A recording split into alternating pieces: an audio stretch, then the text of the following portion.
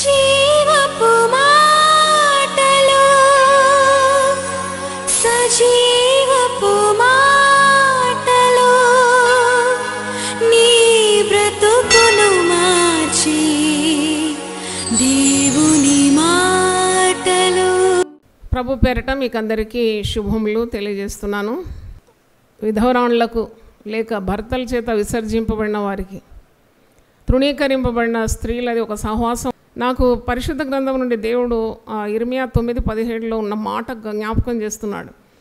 రోధించే స్త్రీలు అంగలార్చే స్త్రీలు తెలివిగల స్త్రీలను పిలవనప్పుడు అంటే ఊరికే రోదన రాదు. సుఖాసక్తి గల స్త్రీలు ఉన్నారు. వాళ్ళని ఏడవమంటే వాళ్ళు ఏడుస్తారా? వాళ్ళు ఏడవలేరు. వాళ్ళకి సమస్యలు పరిష్కరించడానికి భర్త పక్కన భర్తలు ఉంటారు. వారికి ఏడుపు ఎలాగొస్తుంది? నాకు పెద్ద మర్మమే ఇప్పుడు ఇక్కడ కూర్చున్నప్పుడు దేవుడు బయలుపరిచినాడు. కొంతమంది స్త్రీలు ఏడుస్తూ ఉన్నప్పుడు ఓహో నీవు చెప్పిన మాట దాని అర్థం ఇప్పుడవుతుంది. తెలివి గల స్త్రీలంటే వారికి ఎంత తెలివి ఉంటే వారు ఒంటరి జీవితాన్ని జీవించి వారి పిల్లలను కూడా పై స్థితికి తేయగలుగుతారు. రోధించే స్త్రీలంటే ఎన్ని కష్టాలు ఎన్ని ఇబ్బందులు పడి దేవుడు వారికి ఇచ్చిన సంతానాన్ని పైకి తీసుకొని రావాలి. అంగలార్చేవారంటే వారు దేవుని సన్నిధిలో అంగలార్చి మొరపెడితేనే కదా వారి కార్యాలు జరిగేది. కాబట్టి అసలు దేవునికి విలువైన వారు విధవరాండ్రు. దేవుని స్తోత్రం వాళ్ళు విధవరాన్లు అంటే భర్తలు చనిపోయిన వారని ఈ లోకము విధవరాళ్ళను చాలా చిన్నగా చూస్తుంది చిన్న చూపు.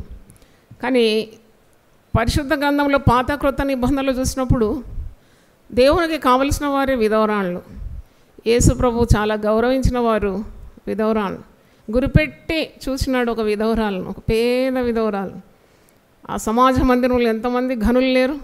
ప్రభు కన్నులు ఒక పేద విధవరాల మీద పడ్డది. ఆమె దగ్గర పెద్ద ఆస్తిపాస్తులు లేవు. ఆమె దగ్గర ఉన్నది రెండు కాసులు. ఆ రెండు కాసులు వేస్తుంటే యేసుప్రభు దృష్టి ఆ విధవరాల మీద ఎందుకు వెళ్ళింది? మరి గొప్పవారి మీద ఎందుకు వెళ్ళలేదు?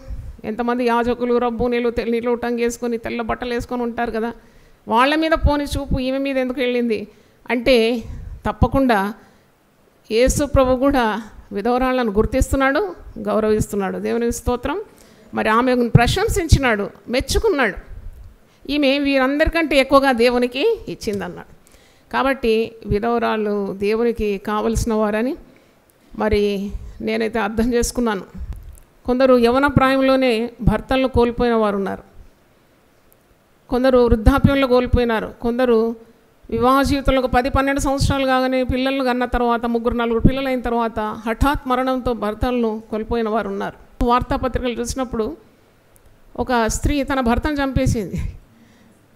భర్తలు పోయిన వాళ్ళు ఏడుస్తారు భర్త లేడని. ఉన్న భర్తను కూడా కడతేర్చిందంట ఒక స్త్రీ. ఎందుకంటే అనుమానము పెను ప్రమాదం అని హెడ్లైన్ ఇచ్చినాడు.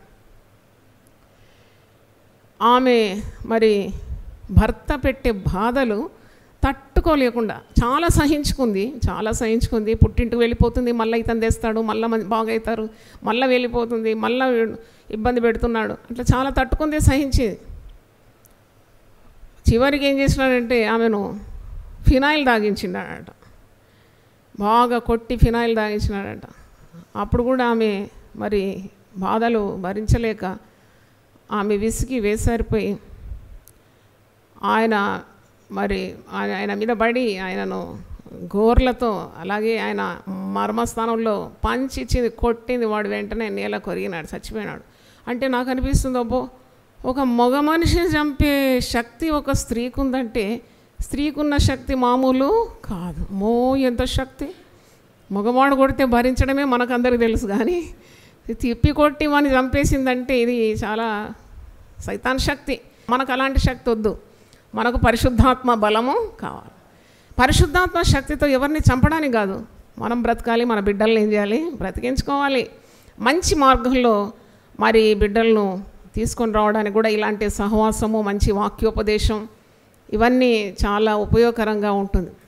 చాలామందికి భర్తలు ఉంటారు బాగానే పక్కన. చూడడానికి అందగాళ్ళు ఉంటారు. మగసిరి కలిగి అంతా వీళ్ళే చేస్తున్నారని ఒక పటం చూపెట్టేటోళ్ళు కూడా ఉంటారు. అట్లా భర్తలను పక్కన పెట్టుకొని నలిగిపోయే స్త్రీలు చాలామంది ఉన్నారు. పైన ఎవరికి చెప్పుకోలేరు.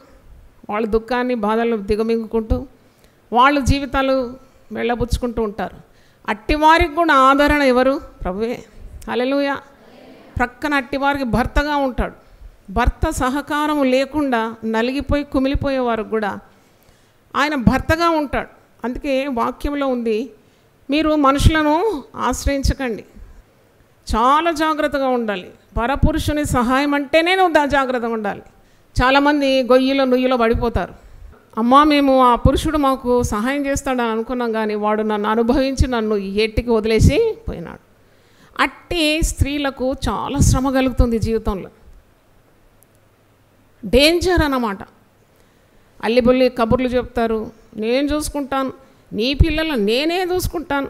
నీకు నేను భర్తగా ఉంటాను. నీకు సుఖము ఇసుమంతా దొరకదు. ఇది దేవుని మాట. నువ్వు ప్రమాదంలో నడుస్తున్నావు. నీకు మాత్రం కాదు నీ పిల్లలకు కూడా హాని కలగబోతుంది. నాకు తెలియదు మీరు ఎవరో కానీ పరిశుద్ధాత్మ దేవుడు మాట్లాడుతున్నాడు. నువ్వు అనుకున్నావు ఆ వ్యక్తి నీకు సహాయం చేస్తాడని. నువ్వు అనుకుంటున్నావు ఒక నరుని మీద. నీ జీవితం చాలా పెను ప్రమాదంలో ఉన్నది. జాగ్రత్త వహించు. నీ జీవితం సరి చేసుకో. నువ్వు ప్రభు పాదాల మీద పడాలి. నీకు వాక్యం నుండి ఎత్తి చూపెడతాను. How God loves women who do not have any source ఆధారం లేని స్త్రీలను ప్రభు ఎంతమాత్రము వదలకుండా చేరదీసి వారికి కావలసినవన్నీ కూడా అనుగ్రహించి ఆశీర్వదించిన తార్కాణాలు ఎన్నున్నాయి. పరిశుద్ధ గ్రంథంలో దైవజనులకే పరిచర్య చేసిన వారు విధవరాళ్ళు ఉన్నారు ఒక గొప్ప దైవజనుడితో వెళ్ళు ఈ కరువు కాలంలో ఒక విధవరాలు నిన్ను పోషిస్తుందా అంటాడు. మానవులను మీరు ఆశ్రయించకుండా దేవుని తట్టు మీ కన్నులెత్తాలని తెలియజేస్తున్నాను. ఒకవేళ మీరు ఏ మానవుని మీద ఆశ పెట్టుకొని ఉంటే మీ ఆశలన్నీ అడి ఆశలవుతుంది మీరు దేవుని దృష్టిలో పడిపోతారు. మీరు మానవుని దృష్టిలో కూడా చెల్లని రూపాయిగా మారిపోతారు. అటు దేవుని దయ ఉండదు ఇటు మానవుల దయ కూడా ఉండదు. పరిశుద్ధ గ్రంథంలో చూసినప్పుడు విధవరాణులకు దేవుడు న్యాయకర్తగా ఉంటాడు ఎంత మంచి మాట. విధవరాళ్ళకు నేను న్యాయకర్తిగా ఉంటాను.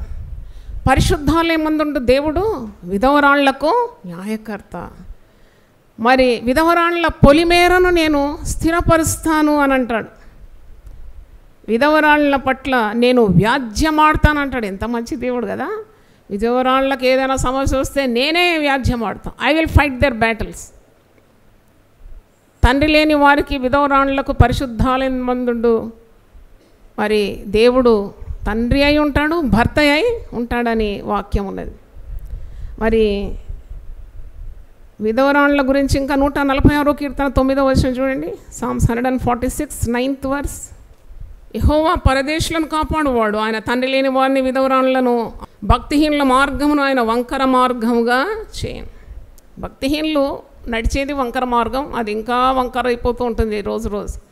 నీతిమంతుల మార్గము అంతకంతకు ఐదో వచనం అరవై ఎనిమిదో కీర్తన ఐదో వచనం తన పరిశుద్ధాలయ మందుండు దేవుడు తండ్రి లేని వారికి తండ్రియు విధవరాండ్రకు న్యాయకర్త అయి ఉన్నాడు. సామెతలు పదిహేను ఇరవై చూడండి. Proverbs fifteen twenty five. గర్విష్ల ఇల్లు యహోవా పెరికివేయును. విధవరాలి పొలిమేరను ఆయన స్థాపించును. విధవరాళ్ళ పట్ల చాలా రోషం గల దేవుడు అనమాట అందుకే విధవరాండ్లను ఎప్పుడూ ఏడిపియొద్దని వారిని సంతోషపెట్టాలి అని వాక్యంలో ఉంది. యోబంటాడు నేను విధవరాళ్ళను సంతోషపెట్టి తిని అంటే భర్త లేని వాళ్ళను దిక్కుమాలిన వాళ్ళను అటు స్త్రీలను నేను సంతోషపెట్టినానని మరి తన స్నేహితులతో సెలవించడం మనం చూస్తున్నాం. అలాగే విధవరాళ్ళ పట్ల నీవు నోరు తెరవాలి వాళ్ళ కొరకు నీవు వాదించాలని కూడా ఉంది. ఏషియా ఒకటి పదిహేడులో. అంటే దేవుడు ఏ విధంగా విధవరాళ్ళ మీద తన కనుదృష్టి ఉంచినాడో మీకు స్పష్టం చేస్తున్నాను. ఏషియా ఒకటి పదిహేడు. కీడు చేయటమానుడి మేలు చేయ నేర్చుకునుడి న్యాయం జాగ్రత్తగా విచారించుడి హింసించబడిన వాడిని విడిపించుడి తండ్రి లేని వానికి న్యాయం తీర్చుడి విధవరాల్ని పక్షముగా వాదించుడి. నిర్గమకాండం ఇరవై రెండు ఇరవై రెండు చూడండి. Exodus twenty two twenty two. విధవరాలనైనను దిక్కులేని పిల్లలనైనను బాధ పెట్టకూడదు. వారు నీ చేత ఏ విధముగానైనా నువ్వు బాధనుంది? నాకు మొరపెట్టినేడల నేను నిశ్చయం వారి మొరను విందును. నా కోపాగ్ని రౌలుకొని మిమ్మను కత్తి చేత చంపించేదను. మీ భార్యలు విధవరాన్ని రగుదురు. మీ పిల్లలు దిక్కులేని వారు అగుదు అంటే విధవరాణులను బాధ పెట్టిన వారి వారు భార్యలు విధవరాణులు అవుతారంటే అర్థమైంది. ఇప్పుడు ఒకడు విధవరాల్ని బాధ పెట్టినాడు. వానికున్న భార్య విధవరాలు అవుతుందంటే అర్థం ఏంటి వీడే చచ్చిపోతాడని అర్థం. కదా? విధవరాలను బాధ పెట్టిన వాని భార్య పిల్లలు విధవరాళ్ళుగాను దిక్కులేని వారుగా చేస్తానంటే వీనికి అంతం ఉందని అర్థం. అంటే అంత రోషం కలిగి దేవుడు మాట్లాడుతున్నాడు. విధవరాలనైనా దిక్కులేని పిల్లలనైనా బాధ పెట్టకూడదు. వారు నీ చేత ఏ విధముగానైనా బాధనుంది నాకు మొరపెట్టినడలా. నేను నిశ్చయంగా వారి మొరను విందు అంటే దీని అర్థం ఏంటి? What I trying to tell you God is on your side నీ పక్షమున ఎవరున్నారు? దేవుడు ఉన్నాడు అది మర్చిపోదు నీ పక్షమున దేవుడు నిలబడుతున్నాడు. భర్తగా అండగా కొండగా కోటగా ఉన్నతమైన ఆశ్రయ దుర్గంగా. నువ్వు మొరపెట్టేదే ఆలస్యం అనమాట ఇది భర్తల చేత విసర్జింపబడిన వారికి కూడా సరిపోతుంది ఈ మాట. ఉండి లాభం ఏంటి? ఎక్కడో ఉన్నాడు ఎవరితోనో ఉన్నాడు నీ దగ్గర లేడంటే నువ్వు విధవరాల కంటే అన్యాయమైన స్థితి నీది ఉన్నట్టే కానీ ప్రయోజనము లేదు. మరి ఒంటరి మహిళగా మీరు అటు భర్త పోయినాడు ఇటు బిడ్డ పోయింది. అట్టి స్త్రీలను కూడా చూసినాం మనం. లుకసోత ఏడో అధ్యాయంలో ఒక విధవరాలకున్న ఏకైక కుమారుడు ఏమైనాడట? చనిపోయినాడు. ఇక ఆమెకి ఎవరు దిక్కులే మొక్కు లేదు. అటు భర్త లేడు ఇటు బిడ్డ లేడు అట్టి వారి దగ్గర అట్టి స్త్రీ దగ్గరికి ఎంత ప్రేమతో పోతున్నాడు? పాడే దగ్గర వెళ్ళి పాడే ముట్టి ఆ విధవరాలి కుమారుని బ్రతికించి తిరిగి అప్పగించినాడు. అంటే Jesus cares for such women. అట్టి స్త్రీల మీద ప్రభు యొక్క కనికరము బహుగా ఉన్నదని అర్థం. అందుకే మనుషుల జోలికి పోకుండా నీవు దేవునిపై గురి పెట్టి బ్రతకాలి దేవుణ్ణి ఆశ్రయించాలి ప్రభు పాదాలు తడపాలి. ప్రభు పాదాలు తడపాలి అంటే కన్నీటి విద్య మీలాంటి వారికే ఉంటుంది. నేను చెప్పిన ఇంతకుముందు సుఖంలో ఉన్న స్త్రీని ఏడవమంటే ఆమె ఎందుకు ఏడుస్తుందండి? ఆమె కారులో తిరుగుతుంది పట్టుబట్టలు కట్టుకొని నేల మీద పాదం మోపకుండా భర్త చూసుకుంటున్నాడు పిల్లలు చూసుకుంటున్నాడు అంటే ఇక ఆమె ఎందుకు ఆమెకి ఎందుకు వస్తుంది ఏడుపు? ఏడ్చే స్త్రీలే కావాలంట. ఈ లోకాన్ని కట్టడానికి దేవుని రాజ్యాన్ని కట్టడానికి. అంటే మీకు కన్నీటి విద్య మీ దగ్గర ఉన్నది. హలోయ ఏడవడానికి మీకు వీలవుతుంది. చాలా రి- కారణాలు ఉంది మీరు ఏడవడానికి. మీరు ఏడవాలి. మీ బిడ్డల కొరకు ఏడవాలి దేవుని సన్నిధిలో ఏడవాలి. అదే ఒక నరుని ఆశ్రయించి ఆయన ముందు రెండు సార్లు ఏడు. అయిపోయిన పని. రెండు దాన్ని వెళ్ళిపోతాడు నేను. నీ పుస్తే కూడా నీ భర్త కట్టిన పుస్తే కూడా లాక్కొని వెళ్ళిపోతాడు. కుదోబెట్టుకొని వాడు తింటాడు. ఎంత దుర్మార్గం ఈ లోకంలో జరుగుతుంది మీకు తెలుసా? కాబట్టి జాగ్రత్తగా ఉండండి. తన నాసికా రంధ్రంలో ఊపిరి ఉన్న ఏ మనుషుని నమ్ముకుంటావు? ఏ మనుషుడు నీకు నమ్మదగినవాడు? వాడు గ్రంథం రెండో అధ్యాయము ఇరవై రెండ తన నాసికా రంధ్రములో ప్రాణం కలిగిన నరుని లక్ష్య పెట్టుకు వానిని ఏ విషయంలో ఎన్నిక చేయవచ్చు? దేవుని హృదయం అంతా నిండుగా మీరున్నారని చెప్పడానికి వచ్చాను. God's heart is filled with you. పరిశుద్ధ గ్రంథం నుండి ఒక ఏడుగురు స్త్రీలను లేక ఎనిమిది మంది స్త్రీలను గుర్తు చేయాలని కోరుతున్నాను. లూకాసు వార్త ఇరవై ఒకటి మొదటి నాలుగు వచనాలు. కానుక పెట్టెలో తమ కానుకలను వేయించిన ధనవంతులను ఆయన పారచూచాను ఒక బీద విధవరాలు రెండు కాసులు అందులో వేయిచుండగా చూచి ఈ బీద విధవరాలు అందరికంటే ఎక్కువ వేసినని మీతో నిజముగా చెప్పుచున్నాను. వారందరూ తమ కలిగిన సమృద్ధిలో నుండి కానుకలు వేసిరి కానీ ఈమె తన లేమిలో తన కలిగిన జీవనమంతయు వేసినని వారితో చెప్పాను. అంటే అక్కడ ధనవంతులు వచ్చినారు. ధనవంతులు కూడా కానుక పెట్టెలో కానుకలు వేస్తున్నారు. ఈ పేద బీద విధవరాలు వచ్చి ఆమెకు కలిగింది. ఆమె దగ్గర ఎంత ఉందండి ఆమె దగ్గర వంద కాసులు ఉంటే రెండేసిందా? కాదు ఆమె దగ్గర ఎంత ఉంది రెండే ఉంది. రెండే కాసులు ఉంది? ఆ రెండు కాసులు తెచ్చి ఆమె కానుక పెట్టెలో వేసింది. ఇది ఎవరు చూశారు? ప్రభు. అంటే ఈమె దేవునికి ఎంత శాతం వేసినట్టు? హండ్రెడ్ పర్సెంట్ వేసింది. చప్పట్లు కొట్టి దేవుని ఇప్పుడు దేవుడు ఎంత ఇమ్మన్నాడు పదో భాగం వేస్తే చాలు అన్నాడు కదా. మరి ఈమె వందకు వంద శాతం వేసేసింది ఆమె దగ్గర ఉండేదే రెండు కాసులు. రెండు కాసులు కూడా తెచ్చి ఆమె కానుక పెట్టెలో వేసింది. అది ప్రభువు చూచి ప్రశంసించినాడు. ఆమె పరిశుద్ధ గ్రంథంలోకి ఎక్కిపోయింది ఆమె. ఈరోజు కూడా ఆమెను మనం ఏం చేస్తున్నాము? జ్ఞాపకము చేసుకున్నాం అదనమాట ఆమె నిండుగా దేవుని ప్రేమించేది యథార్థంగా దేవుని ప్రేమించేది. ఆమెకున్నదంతా దేవునికి ఇచ్చేసేది. ఆమెకి కొదువ దేవుడు కలగనీయడు. సాధారణంగా మీరు చాలా జాగ్రత్త పడడానికి మీకు మాట చెప్తున్నాను. విధవరాళ్ళ దగ్గర మోసం చేయడానికి చాలామంది వస్తారు. సేవకులే వస్తారు. తోడేళ్ళు ఏ వేషం వేసుకుంటారట? గొర్రెల చర్మంలో వస్తారు మీ దగ్గరికి. మీరు ఒంటరిగా ఉన్నప్పుడు వస్తారు.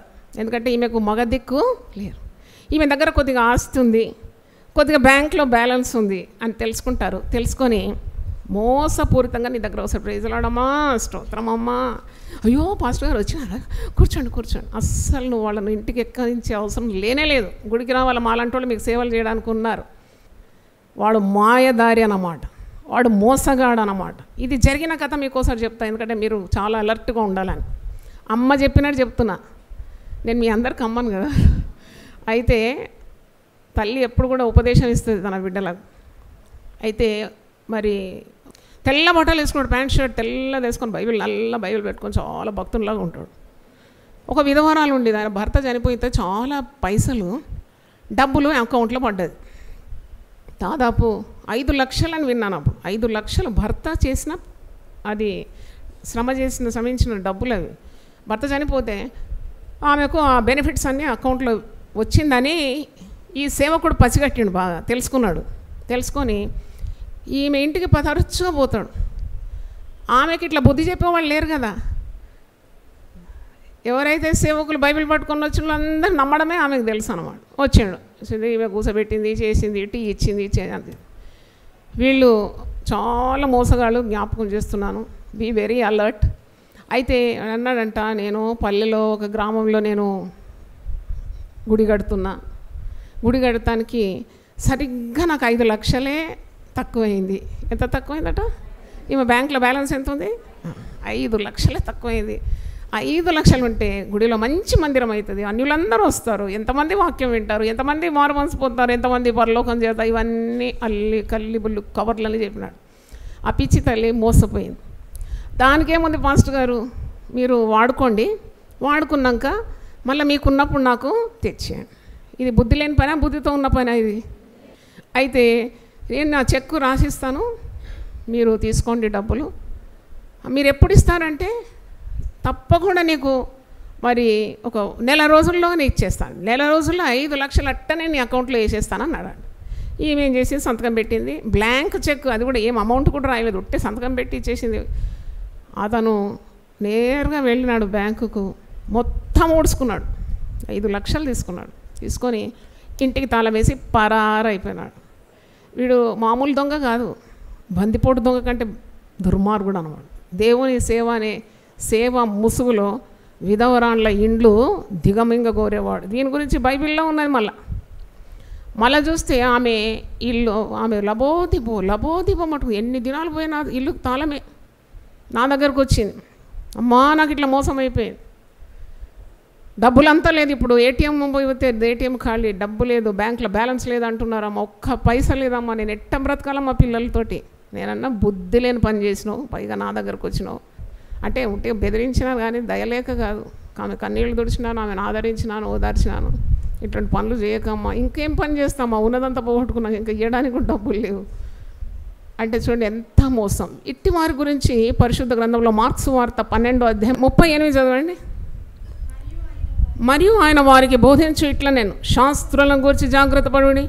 వారు నిలువుటంగీలు ధరించుకొని తిరుగుటకును తిరుగుటను సంత వీధుల్లో వందనములను సమాజ మందిరంలో అగ్రపీఠములను బిందుల్లో అగ్రస్థానములు కోరుచు విధవరాండ్ల ఇండ్లు దిగమ్రింగొచ్చు మాయావేషముగా దీర్ఘ ప్రార్థనలు చేయదు.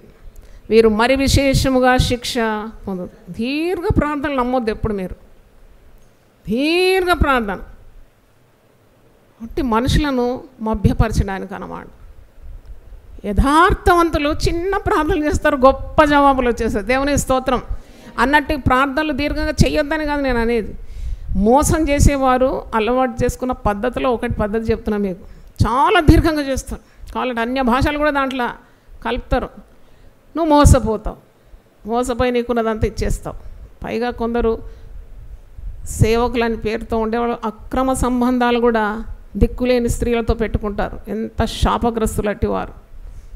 విధవరాలను ఆదరించాలి ఓదార్చాలి కావాల్సిన సహాయం అందించి క్రీస్తు శరీరం అనబడే సంఘంలో అవయాలని చెప్పి వాళ్ళను గౌరవించి వారి మరి మంచి వాక్యోపదేశం చేసి వాళ్ళతో సంబంధాలు కూడా పెట్టుకుంటారు. జాగ్రత్త జాగ్రత్త పరిశుద్ధాత్ముడే మాట్లాడుతున్నాడు. నీ శరీరము దేవుని ఆలయం. దేహము దేవుని ఆలయం అది పరిశుద్ధాత్మకు నిలయం అది కలుషితమైతే నీ ప్రార్థనలు దేవునికి హేయంగా మారిపోతుంది. అసహించుకుంటాడు నేను దేవుడు. నటన చాలా మట్టుకు మరి నిలవదు. నటన ఉంది చూడు నటిస్తారు కదా నటి నటి భక్తి నటన లేక మంచితనం నటన ఇది ఎక్కువ దినాలు నిలబడదు.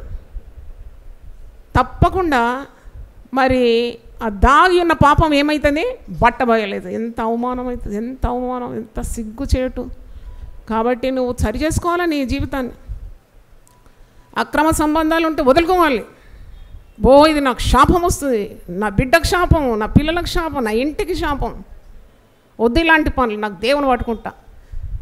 యోబంటాడు ఆయన చంపినా కానీ నేను దేవుణ్ణి ఏం చేస్తాను? ఆశ్రయిస్తాను. దేవుని స్తోత్రం హలలోయ కాబట్టి ఇలాంటి వారి గురించి జాగ్రత్త ఉండండి. ఏం లేదండి పాస్టర్ గారు మా ఇంటికి వచ్చిండండి. ఈ దొంగ పాస్టర్లను అస్సలు మీరు నమ్మొద్దు. తీపి తీపి మాటలు మాట్లాడతారు డోంట్ ట్రస్ట్ దెమ్ నీ గురి నీ గమ్యము నీ యొక్క ఆధారము నీ ఆధారశీల నీ కొండ నీ కోట నీ దుర్గం నీ ఉన్నతమైన పర్వతం ఎవరై ఉండాలి? దేవుడు చేతులు ఎత్త ఒకసారి హాలెలు చెప్పండి. హాలెలుయా హాలెలుయా నీ ముసలితనంలో నీ పిల్లలు నిన్ను చక్కగా చూసుకోవాలంటే నీలో మర్యాద ఉండాలి క్రమం ఉండాలి భక్తి ఉండాలి. నువ్వు భక్తి విడిచి నువ్వు పాపం తట్టు తిరిగితే దిక్కులేని చావు చేస్తావు నువ్వు. నేను ఇప్పుడే చెప్తున్నా దేవుని సేవకురాలుగా. ఈగలు వాలి చీమలు గరిచి మురిగిన చావు చేస్తావు. ఎందుకంటే నువ్వు దేవుని గొప్ప మార్గాన్ని ఏం చేసినావు? వదులుకున్నావు వదులుకున్నావు. భక్తి విడిచిన మా మరి వాని భక్తిహీనుని మార్గము దేవునికి హేయమని అప్పుడే చదివినాం కదా. కాబట్టి దేవుని హత్తుకొని బ్రతకాలి.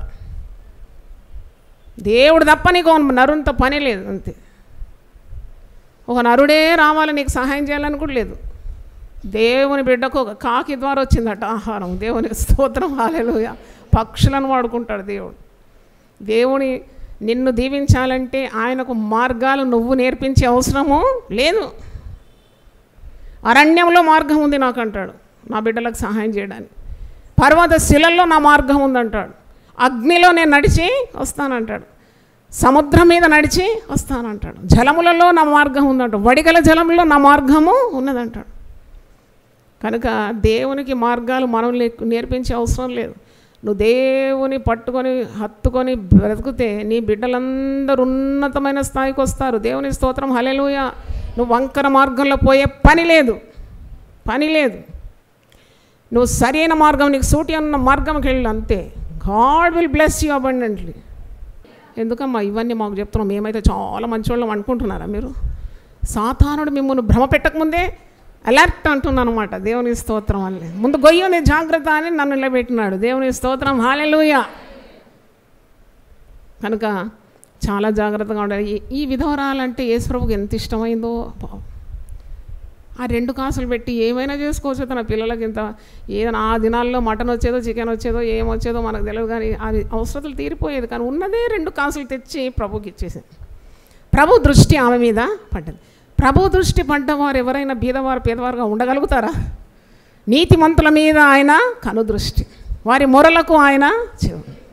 రెండవది సారేపాత విధహురాలు ఒక దైవజనుని దేవుడు ఈ విధవరాల దగ్గర నడిపించినాడంటే దేవుని రాజ్యం కట్టడానికి విధవరాళ్ళు కూడా అవసరమే. మొదటి రాజులు పదిహేడు అధ్యాయం చూడండి.